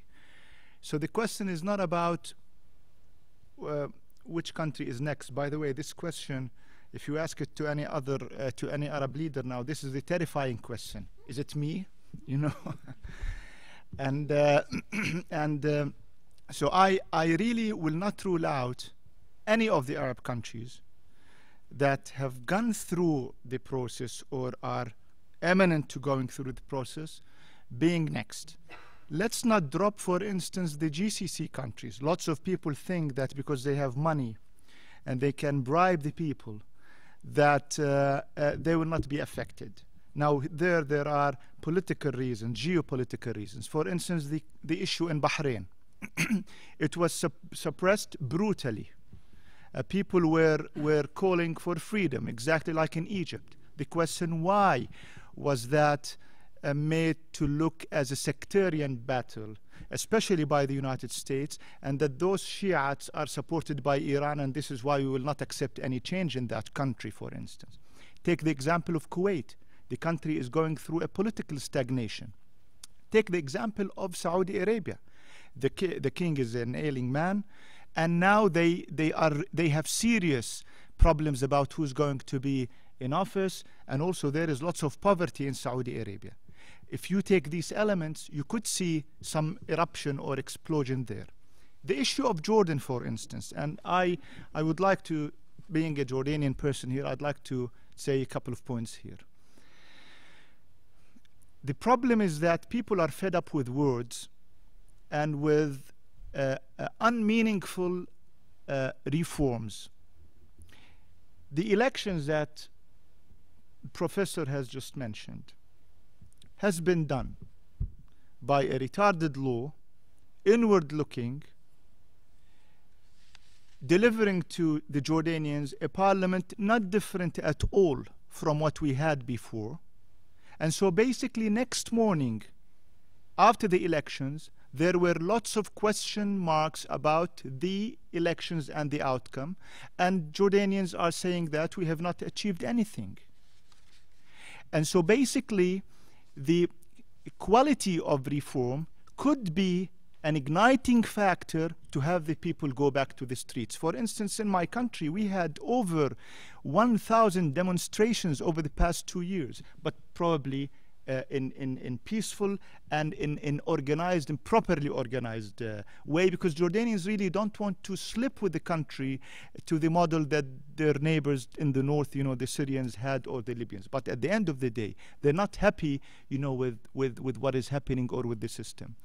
Uh, this is why I believe that uh, unless, unless the um, uh, regimes move quickly and ad address uh, in a substantive and quality oriented manner the aspiration of the people in freedom, dignity, democracy, pluralism, having the authority vested in the people, I think that we will be having problems in Jordan, in the Gulf area, in Algeria, and uh, and possibly in Iraq, by the way, and possibly in uh, in uh, in Lebanon, for instance. May I just link this to what the young lady just asked about the U.S. role. And here I, I tend to differ with my distinguished colleagues about the ability of the U.S. to, uh, to, to make a difference. Actually, this is the time for the U.S. to make a difference. Why? Because before, the Arab masses was suppressed. George Bush tried after the invasion of Iraq to present the new Middle East uh, plan but it was not the right time and, they, and it could not have been happened uh, it, it, it, would have uh, it was difficult to happen you know in, with the situation in Iraq and with the military uh, apparatus of the United States. Today, the Arabs, the people, the young men and women on the streets are coming to the international community and telling them on clean slate, we want freedom. So you have to help us. You cannot look the other way. And in terms of money, there has been lots of initiatives. The EU, for instance, association agreements, the five plus five for, for the North African countries, the NATO Mediterranean dialogue, the Union for the Mediterranean. What was the problem? Is that, and of course, you know, you had the U.S. free trade agreements with all these countries. What was the problem? Is that all that money was channeled by the US and the EU to the dictators. And they managed to manipulate the Western community and stay in office. Today, the situation is different. This is why I really mentioned the issue of a Marshall Fund. The US has to focus on proper and concrete reform systems in the region and has to put its money where those are serious about reform and aligning it in its interest with the people, not with the regimes or with the leaders, including, for instance, Ennahda or Morsi or, or whoever. And I take note, you know, on the speech of President Obama in his reinstatement speech when he said that, you know, the United States will be committed to the Arab peoples who really seek freedom and, uh, and dignity and uh, democracy. And I think that this is very important and very appreciated commitment, commitment. And I hope, you know, that it, it really does not just to stay as a lip service because people were really disappointed four years ago with his very famous speech in Cairo. I hope that this time they will not be disappointed. I think that there is a very important um, uh, time in history for the United States to present its values to the people of the Arab world today, not to the regimes. Um, yeah, uh, let me, if I can, sort of. Uh, you know, obviously, nobody in this uh, panel is willing to give you a concrete answers or willing to speculate. I'm good uh, on, on on a few countries. I will speculate as well. Let me go back to a comment that, or sort of, sort of aphorism, um, um, quoted a lot under the Bush administration. Natan Sharansky's town square test. You know, I'll know that a society is free when you can go into the town square and denounce the leader. And when I first heard that, I thought, well, that sounds like a good operational tool. And then I thought, when was the last time I heard a citizen in an Arab country say anything good about their leader? and I couldn't think of one. Never. Yeah. The disillusionment with existing political systems is widespread in every single society that I've been in in the region. Um, there are plenty of societies I don't know in the region, but at least in, in, in the ones that I've been in. The question is when is it when is it translated into some kind of political action? Um, I would give you three candidates, two of which have already been mentioned, of places where I, I, they kind of re- remind me of Egypt in 2005, where, in a sense, politicization is beginning to grow, concrete political demands are being articulated, um, but it, but it still may be uh, uh, far from anything that would look like a pressure for revolutionary change. Uh, two, two of them have been mentioned, one has not. Uh, Jordan, absolutely. This is a place where I'm I'm shocked to find the degree to which the corruption issue is big, and the corruption issue is personalized on the king and the queen. Yes, yeah, and the queen. Yes, but but but in, in ways that just it's like people used to talk elliptically. Well, we have a, a corruption in this country. There are sort of people around the government. No, it's like it. I mean, in, in, not in press, but in pu- in public places. Um, um, this to me is, is, is my sense is what is preventing anything from that translating into Jordan in, in, in, in, in, into action is not necessarily support for the system, but Jordanians' fears of each other. Okay, there's no real coalition that is possible like there was in Egypt uh, because the society itself is deeply divided along you know Jordanian Palestinian Islamist non-Islamist lines. Second place is Kuwait where you actually saw a real upsurge of popular mobilization. It's it's off completely off the radar screen. Um, uh, but it is one which really focused on fundamental constitutional reform. And the sorts of, by the way, the sorts of demands that people talk about are things like popular government, meaning a, a, a cabinet that is respon- politically responsible to an elected uh, uh, parliament. It's something that you know sounds like it's straight out of 19th century European political struggles.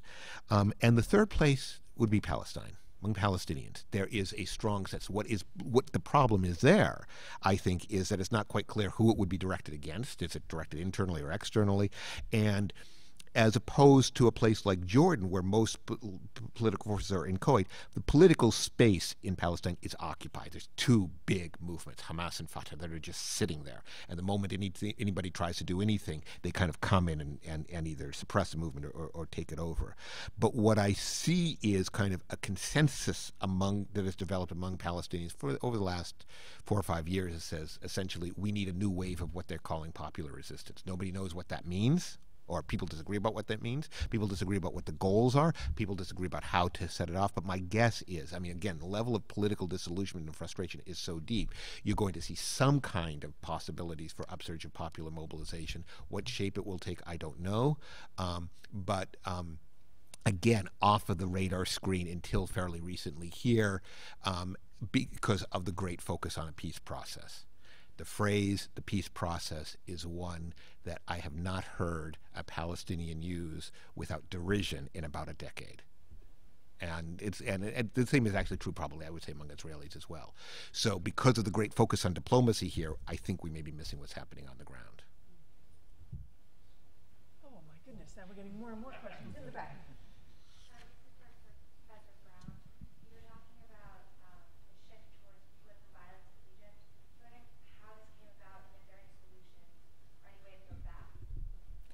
Um, I think it kind of came about uh, about uh, gradually. Um, I mean, the revolution itself did have violence against it, but but there there's um, a couple problems that, that fueled it. Number one, um, absence of security sector reform. So the security apparatus is one that knows how to control people one way, and that's very very rough. There's been no attention to it, um, and and the authorities are basically scared to call on it. Um, and so on. Second is this kind of uh, um, uh, deep polarization. There is a failure to accept uh, basic rules of of of of, of uh, the uh, uh, political game. Um, and there's a sense, I think, among various political forces, in a sense that sometimes push comes to shove. You saw this in the um, in the last few months, when essentially the um, uh, uh, uh, this essentially in November and December when uh, President Morsi felt that he was being, and the Brotherhood was being directly targeted, that the presidential palace was about to be stormed, that Brotherhood offices were being attacked, and that if they called on the security services, the security services wouldn't defend them. So they called out the Muslim Brotherhood. And essentially, what they started doing was arresting people, beating them up, obtaining confessions of dubious reliability and then trying to turn them over for, to, the, to the prosecutor for trial. This was a red line, in a sense, because the president was then relying on essentially what was a party militia. So those were sort, the, the sorts of ways that it happened. Um, I think, I mean, I'm still kind of optimistic on this score. It's not, I mean, it's a society in which arms are much more prevalent, but people do not resort to violence all that easily. You don't have organized militias and this sort of thing, and nobody is talking about starting one. The opposition, the leadership of the opposition in Egypt, I think, is beginning to grapple with this issue and trying to decide is is what we're trying to do to, you know, press for political reform, or is what we're trying to do to to bring down the regime. They're a little bit divided on that issue, but there's some sense that what they have to do is to come up with some sort of set of demands that the that that, that make dialogue possible, rather than saying we're out to get you. Um, there, so there is some kind of sense there. To what extent they control their followers is much less clear. But so there there there there, there are dynamics in Egypt that don't leave me completely pessimistic. If your question is kind of uh, how to draw back, what clearly has to happen is some kind of consensual political process that has credibility. Um, and there have been many attempts at that in Egypt. Um, none have really been successful yet, but but but I don't I wouldn't necessarily give up hope.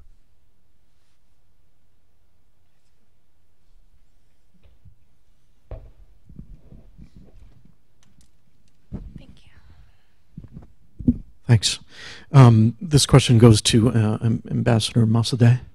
Um, the, the idea of intervention was discussed uh, a few moments ago, and uh, I agree with uh, you, sir, that, that you know we don't have the fiscal resources to continue doing that. Um, is it possible to sort of re- reconceptualize the idea of intervention, and perhaps certain programs are already underway where uh, you know certain groups of Arab youth uh, throughout the North Africa, the Middle East, are brought to the West, the United States, and um, educated, um, sort of encouraged to develop their own form of uh, liberal democratic ideals. I think ma- many times here in the West we forgot that the, it was the Islamic civilization through Spain and the Mediterranean that uh, they introduced us to Aristotle, Socrates, and Plato. Is there a certain way that we can reintroduce to the Arab world, the Islamic civilization, those ideals, so they can construct their own um, idea, the the young people? Because I agree with you that you know, the old regime. I mean, you can't teach old dog new tricks. It, it's but anyway. So just was wondering if that's underway somehow. Well, there, there are uh, many initiatives. Um, and actually, this is the right way forward. Uh, we need to target education. Uh, we need to target NGOs. We need to build capacity in nation building. And this is why we have to go in all these initiatives or programs or interventions to the grassroots. And this is why I said that it's time that we overlook dealing with governments or with newly emerging, you know, people in uh, in the power. Um, also, I believe that one of the formidable tools that the US or the EU can do, for instance, is also to target the uh, in uh, capacity enhancement of political parties. Because you see in our system, unfortunately, due to the um, autocratic regimes that we had, the countries have been turned into rentier states whereby you don't have citizens, you have subjects. And you have um, a very absurd relationship between the leader and the subject. Everything is given as a grant. And so also you create people who are dependent on the state but not dependent on themselves. This is why, for instance, you take the example of Jordan. Everybody wants to work for the government. And the private sector is not functioning. Also, that system created or divided the countries in general into tribes. So rather than to think on political ideologies and policies, you have the people thinking on the tribal relationship between each other. And this is why I believe that focusing on political parties, on NGOs, by way of having programs from the United States to the countries in transition is very important. Now, I, I would like to add my voice to the level of suspicion and criticism that you will have from the people towards anything coming from, from the West. But I think that we can we can overtake this with with time uh, because you know there is lots of mistrust. Uh, why are they coming to us? To do what? Again, you know we are embedded with the conspiracy theory in our region. Uh, but I believe that uh, you know the target has to be uh, for and, and to the uh, younger generation. 70% of the Arab population is under the age of 40. This is a very important opportunity. And I believe that education, universities, uh, um, is, is, is the gateway for all of this to start building not just democracy, but the ability to accept the other something that we don't have in our tradition, unfortunately, because of the way the system was created.